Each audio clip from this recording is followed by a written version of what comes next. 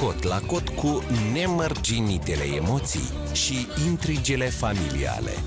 Pe scenă urcă Kumar Ganga, verișoara Alvinei Khan. Stai puțin, că n-am înțeles. Tu cum te numești? Ganga. Tu ești verișoara Alvinei. Bun, bine ai venit în sezonul numărul 2 Moldova are talent. Succes!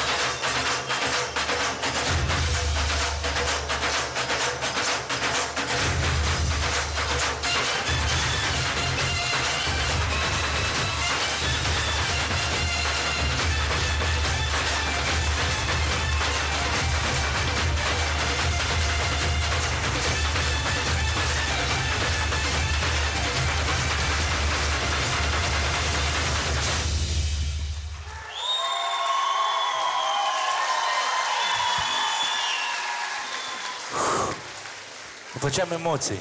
Te simți bine? Tot ok? Da. Ne vezi clar? Ganga, mie mi-a plăcut. A fost uh, un moment uh, interesant.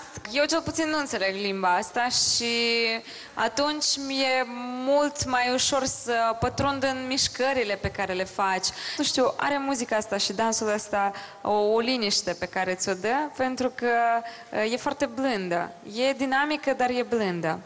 Pozitivă. Mulțumesc. Mihai? Dacă nu spuneai cum te cheamă, eu nu credeam că te-am mai văzut cândva. Asta, asta ai fost bună, bă. mersi. Mulțumesc mult. Și totuși, Ganga, am ajuns la momentul ăla decisiv, în momentul ăla magic. Mie ceva nu mi-a ajuns până la urmă, în toată povestea asta a ta. Chiar dacă este foarte curios, totuși eu am să fiu de părerea că n-ai meritat să mergi mai departe și îți spun un nu. Mihai? Dacă știi limba italiană, eu îți spun si. Asta înseamnă da. Ganga și din partea mea e un da, felicitări. Ne vedem în etapa următoare.